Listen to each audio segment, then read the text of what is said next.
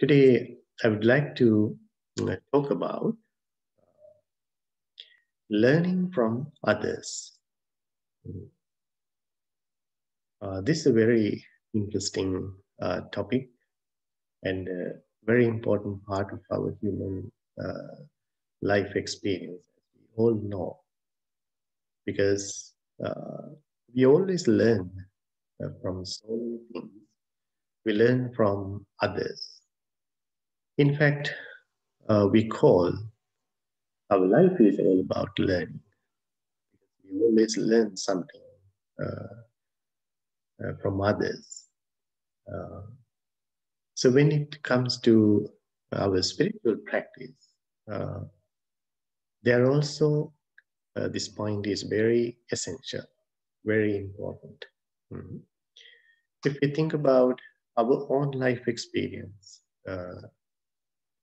who we are, what we are at the moment, uh, how much this learning has contributed to uh, our present uh, state of life. So this is something uh, we have to deeply appreciate in our life. Mm.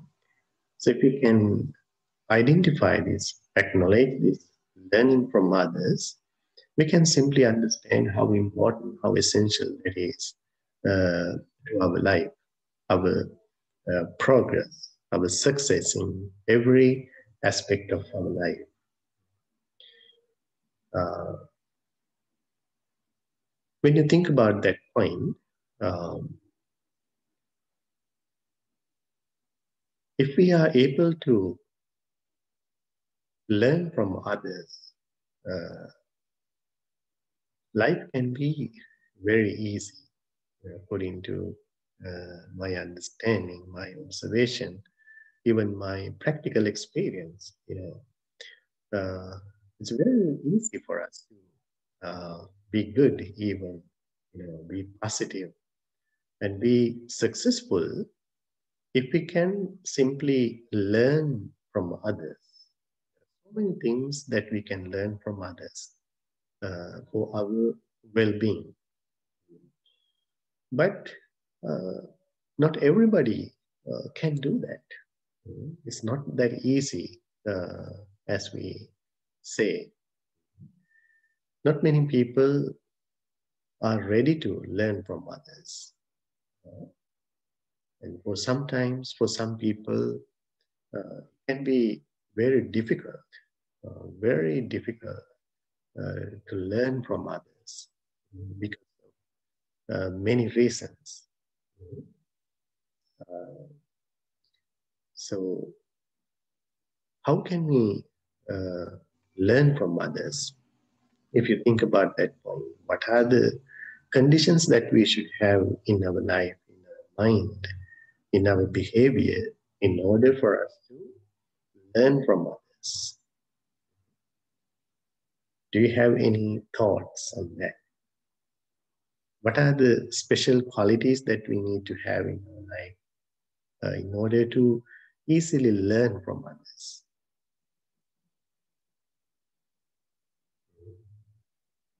Do you have any idea?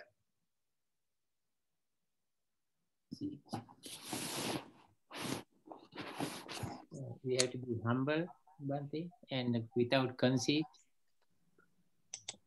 Yes, exactly. That's, a, that's indeed a very essential thing uh, for us to have in our life to be able to easily learn from others, right? We have to be humble. Uh, if we can let go of our conceit, we can easily learn from others. And this is not the case for many people, right? For many people, uh, if they are arrogant, uh, if you if they have uh, conceit, uh, they are not ready to listen to others. They don't really even appreciate uh, any good thing in others, so they don't learn from them. Uh, so if we can let go of our conceit, we call it the mana, ahankar. Uh, if we are, if we can let go of our arrogance, uh, it's a very important point for us to uh, be able to learn from others. What other qualities do you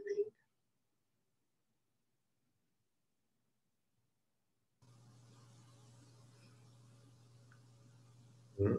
I think the ego, you need to have, uh, you need to get the ego out to hmm. learn mostly.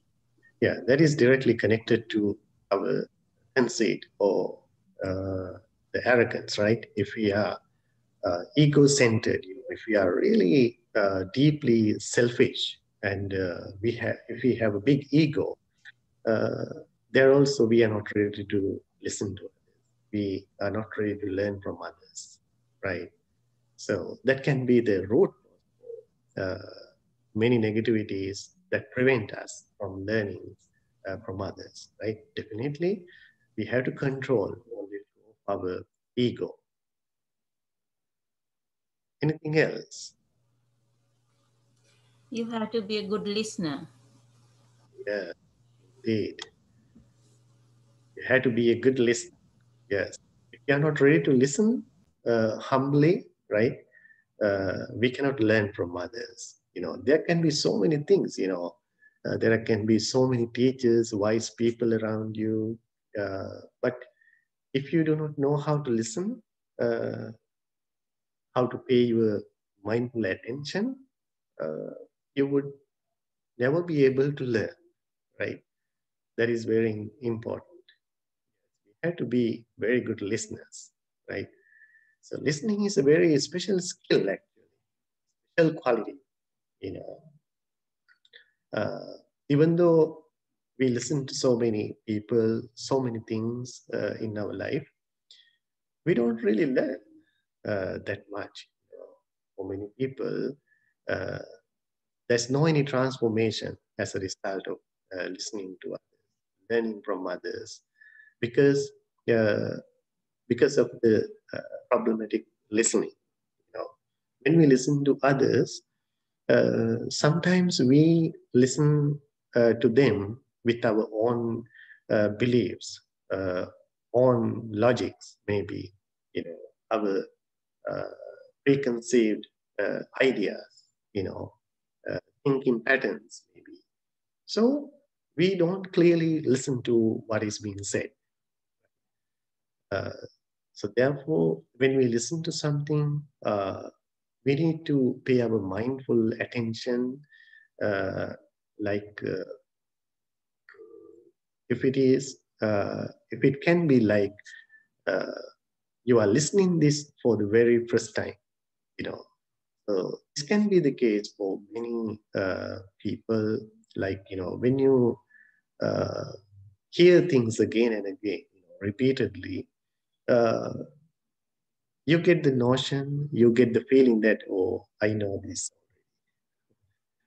i know this already so we don't pay our uh, clear, mindful attention to what is being said.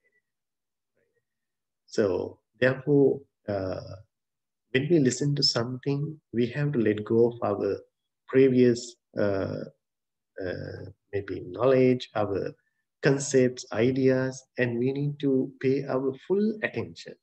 You know, emphasized in the, you know, Ohita Soto, means uh, we have to uh, pay our mindful attention, humble attention when we listen to uh, someone. And only then we clearly, uh, perfectly listen uh, or hear what is being transferred what is being said or taught. So it can be different uh, otherwise.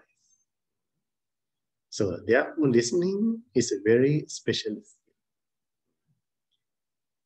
Uh, so it can be uh, somewhat tricky as you hear, you know, because we can we cannot easily let go of our uh, knowledge, our understanding, our previous experiences uh, when we listen to someone, right? Because we always compare.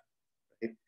But if you do that comparison at the moment you listen, you may not be able to completely uh, uh, get what is being said. You know, uh, you can easily miss important points, right? So if you can simply listen uh, with an empty mind, you know, so you can completely grasp what is being said. So listening is a very special skill uh, in the Dhamma practice, you know, uh, that is so essential. So what are the other uh, conditions that uh, would be helpful for us to uh, learn from others? Bhante, we should be easy to be admonished and we should be courteous. Right, right, exactly. Uh, that is very interesting too. Mm-hmm. Uh, that means uh, when we listen to someone, uh, we have to uh,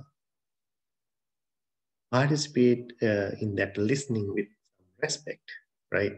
Some acknowledgement, some appreciation, right?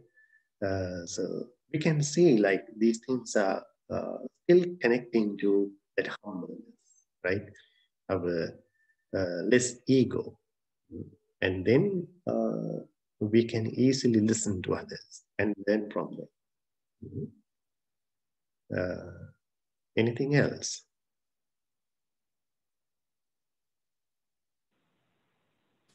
Um, being yes, um, I think being able to willing to um, see and acknowledge one's own flaws.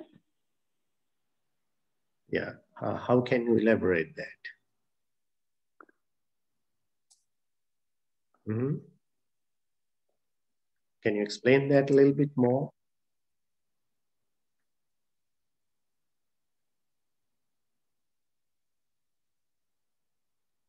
Can you hear me? Yeah, yeah. Now we can hear. Okay.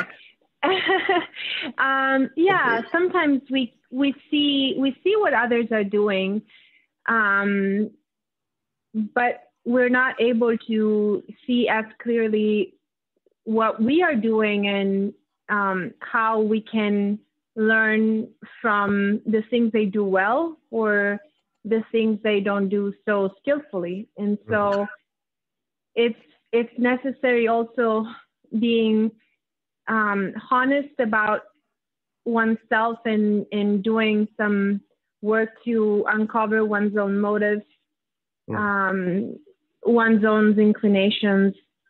So having that honesty and then um, realizing, deciding when it's time to actually change our our own behaviors because they're not skillful. Mm. Right. Yeah. Thank you for sharing that. Uh, that's very important. Mm-hmm. And at the same time, uh, if we are not sensitive enough, right, uh, that is also something that can prevent us from learning from others. You know, uh, that sensitivity, uh, you know, that receptiveness, you know, in our uh, in our mind, in our behavior, uh, as a special faculty, maybe quality. Uh, that is very important to understand uh, because uh, sometimes it happens to us. You know, sometimes people, you know, parents can advise children and uh, give them necessary instructions, but uh, they don't get it. Get it? They don't understand it, right? So it can happen to anyone, right? that means uh, it's hard for them to get, you know, uh, it can be difficult for them to learn, you know, learn from others. That means they don't feel it, you know, they don't get it, they don't understand it, you know, they are not sensitive. A very special uh, thing uh, taught in the Dhamma, you know, in uh, one stanza in Dhammapada, uh, clearly explains that uh, in this spiritual path, we have to be like uh, tongues, you know, the tongue, uh, uh, not like a spoon, right? Even though you stir uh, a curry with a spoon, spoon never uh, able to taste. uh, it doesn't uh, taste anything, right? It doesn't feel any any taste. But the tongue uh, is very sensitive to uh, any taste, right? Uh, so therefore, it explains in the Dhamma, we have to be like tongues. That means the sensitivity. We have to be very receptive. Uh, we have to be very sensitive to uh, everything around us. You know, that way we can easily learn from uh, others. You know, so that sensitivity is a very unique quality. You know, it is not uh, same for everybody, right? We have that capacity that we uh, we have that uh, special quality, unique quality in different levels, depending on many uh, circumstances, right? Our characters, our behaviors, our predispositions, our level of education, maybe our spiritual practice. Uh, these kind of uh, circumstances are there uh, for that sensitivity, that receptiveness to be uh, different from person to person. You know, uh, there is there can be so many things uh, around us. You know, but we never learn from them if we are not sensitive to them. You know, therefore, this spiritual practice, especially the mindfulness practice is uh, uh, is the ultimate way to make us uh, very sensitive, very receptive uh, to all these, uh, you know, ourselves, around us, and everywhere. Mm-hmm. Uh, so that is the way to learn from others very easily. Um, of course, we can see uh, to be able to listen to others, uh, one's uh, level of education, maybe you know, knowledge. Uh, these things are also very important you know, because the education, the learning gives us such a discipline, you know, uh, gives us such a wonderful quality of uh, listening. You know, it is such a huge discipline can see that. Uh, like uh, uh, uneducated person or people, they are not ready to listen to others. You know, they don't easily uh, learn from others. You know, it can be different uh, and it can be situational too. Uh, but our education, our trainings, all these things can influence that uh, quality of learning from others, you know. Uh, so wonderful thing to remember is that we have to be like our tongue, uh, not not a, not like a spoon. Uh, because uh, you may have so many good people, positive people, influential people around you. Uh, you can live in such a perfect environment. Uh, but if you are not sensitive, you may not be able to learn anything. You know, so there are there's no any progress or success in your life. Uh, and the other thing is that uh, from whom we can learn. Mm-hmm. Uh, when you think about that point, we always admire good people, uh, in our life, right? Uh, as it is uh, emphasized in the Dhamma also, we always admire good spiritual kalyana mittas, we call positive friends and people around us, you know, healthy relationships around us. So we can uh, easily learn from them, you know.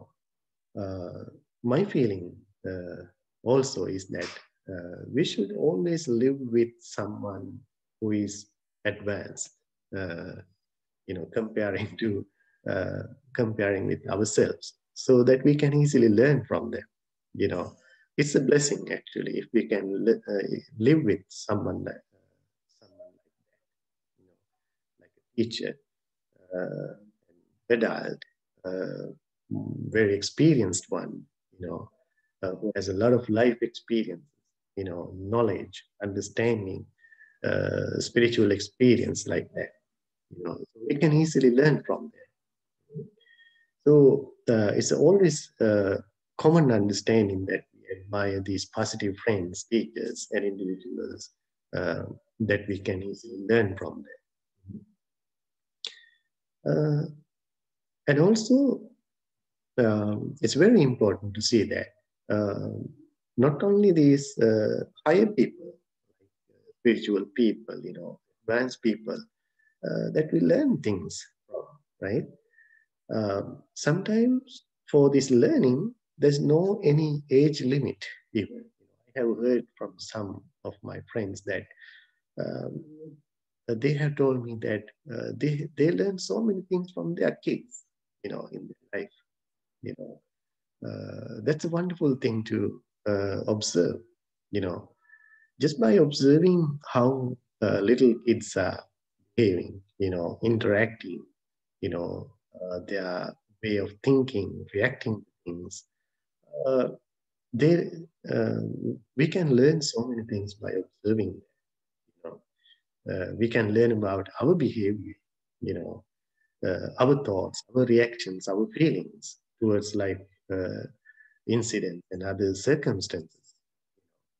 And sometimes uh, uh, children, as they are very sensitive, you know, as they are getting exposed to this world for the very first time, you know, they directly experience it and they can gain uh, such clear understanding of what what they experience so therefore uh, we can learn so many things from uh, the minors you know uh, little ones you know you know for parents you know they can learn so many things from their children it is not always the adults, advanced people. You know, that's my point here.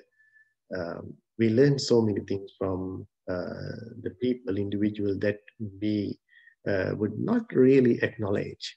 You know, uh, it is very important. So in that category, don't you think you can learn so many things from pets? What do you think? You may have some experience in that. Have you learned anything from your pets?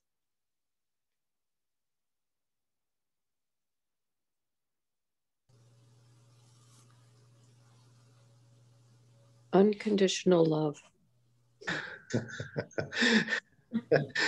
that's that's so wonderful to hear. I think that's a very common thing that we can learn, right? I mean, that is so so complicated even to and observe that, you know, how these pets are uh, sharing that unconditional love, you know, uh, and so many good, beautiful qualities, you know, wonderful qualities that they have. You know, sometimes you may not find them in human beings sometimes the gratefulness, right? Uh, the humbleness, that love, you know, being there for you. You know, sometimes you, you cannot get that from uh, human beings. It's very complicated, very complex nature uh, to observe, to watch. So we can learn so many things from animals, you know, uh, especially today as human nature, human behavior, uh, like commonly declining, you know, being so corrupted, we can see some unique qualities uh, still maintained in the animal kingdom. Right? Uh, it's very um, surprising to see, you know. Um, there are so many uh, occasions so many experiences that uh, we can see, uh, we can observe. So you can learn so many things from animals, your pets as well. Uh, what about the nature? You know, the things that we learn uh, doesn't have to be from the people, from animals, but we can learn so many things from the nature. Going back to that sensitivity, you know, uh, we spoke about, if we are very receptive, very sensitive, very attentive, uh, by paying mindful attention to the nature, what happens around us, you know, in this nature, we can learn so many things, you know, impermanence, you know, how things are happening, you know, how things uh, come to existence, how they uh, uh, fall apart, you know. It's a wonderful thing actually that happened many enlightened uh, disciples even uh, during the time of the Buddha. You know, as they were practicing this mindfulness, insight meditation, uh, as they uh, were cultivating their mind, uh, as they were so receptive, so mindful and attentive, sometimes these natural phenomena, you know, were helpful for them to attain enlightenment. Because the real Dhamma can manifest in these natural phenomena, in the nature, you know, how things happen. So you can uh, easily reflect a deep Dhamma in these natural conditions. You know, for me, in my personal experience, the water is a wonderful, beautiful experience uh, that can easily purify my my heart, my mind. You know, uh, so there can be wonderful experiences like. Flowers, trees. Uh, these are beautiful natural uh, phenomena in the world, in the nature, uh, for a spiritual mind, uh, for the awakening even. You know, if you are deeply sensitive to these things, uh, you learn so many beautiful lessons from them. So we, we can learn uh, from the nature, you know, things that happen in uh, the surrounding. You know, if we pay our mindful attention, uh, and also, very importantly, uh, as we spoke about earlier, we learn uh, from others, those who are advanced, those who are good, those who are very well experienced, you know, possibly positive. What about negative people? Do we learn anything from negative people, bad people in the world?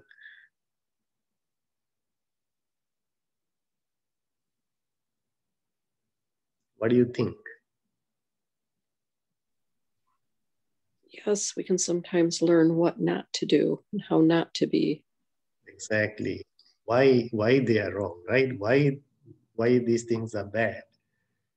So uh, it's a very important thing, you know. Sometimes we don't see uh, the bad, uh, the negativity, uh, as we are engaged in them, you know, because we hardly criticize our behavior, our negativities ourselves, but we easily notice wrong behavior, negativities in others. This is a, a very common basic human nature, right? We easily uh, notice the wrong in others, you know, then in ourselves, right? We can clearly see why is it bad, why is it wrong, why is it negative. So we can easily learn from them, you know, instead of getting angry or uh, creating any negative emotions uh, upon them. Still, if we can be very sensitive and mindful, attentive, receptive to that negativity, we can learn so many things. Uh, so we can learn so many uh, things from negative people too. So therefore, uh, we have to kind of appreciate them too. You know, uh, my point is like how can you learn about the loving kindness without having an angry person in your life? Like if there is someone who is uh, easily getting angry, you know, you may have uh, someone uh, who is very difficult to deal with, you know, right? So this is where, as a spiritual person, you can learn about the importance and the effectiveness of loving kindness. Mm? So uh, maybe you are not an angry person, but you clearly understand why uh, this anger is bad and negative. Uh, how frustrating it can be uh, to to live with uh, such a person, an individual or relationship, right? You can easily understand. How can you learn about the importance of loving kindness without having that angry person? So for that reason, you have to be thankful to uh, that person. So you need to have these negative uh, aspects uh, in life to acknowledge and appreciate the positive things. That is also very important.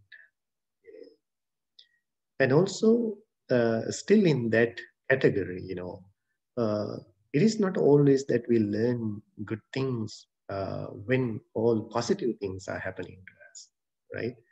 We learn so many things when negative experiences are happening to us in our life. Very important. Uh, if you think about your life experience, you know, maybe essential things, very important, uh, valuable things you learned in your life. Mostly whenever you faced a difficult time, problematic situation, or disastrous time, right? Maybe sometimes uh, uh, once you uh, someone said goodbye to you in your uh, family in your life, right? So it, it is a very painful negative experience, but for, for some people, it can be a huge eye-opening experience, spiritual experience, you know, which, uh, which can give them a huge uh, insight, huge understanding about the true meaning of life, right? So uh, our normal attitude towards our negativities in life, you know, uh, is not that good. Right? We always want to be free from negativities. Uh, they are inevitable. Hmm? There's no life without negativities. So, therefore, uh, somehow we have to develop an attitude uh, to learn from these for our benefit for our uh, positive transformation.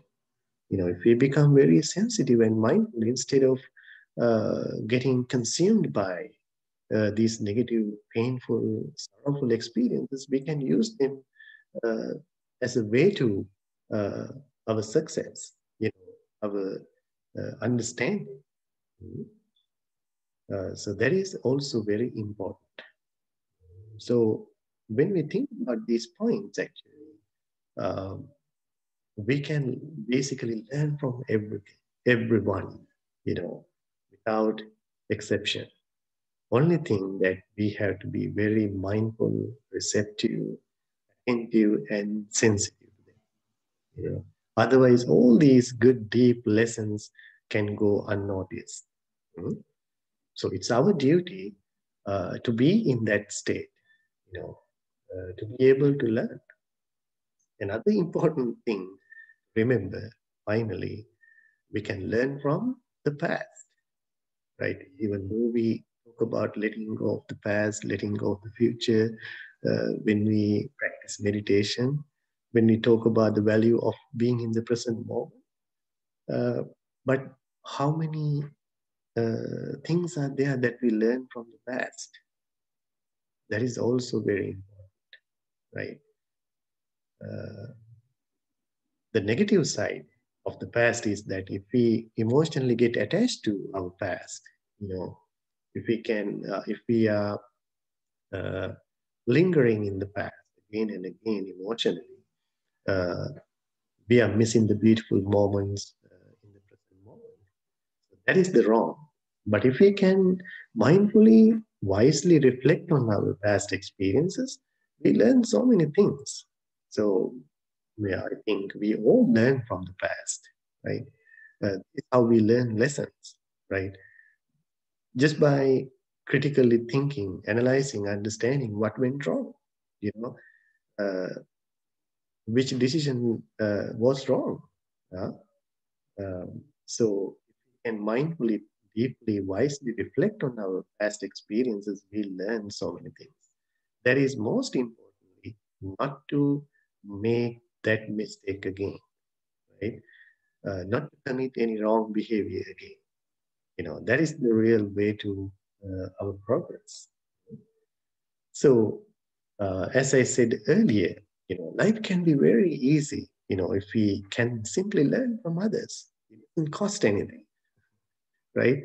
Just by being humbly uh, listening to others, paying mindful attention to them, uh, we can learn so many things, you know, that are beneficial to us.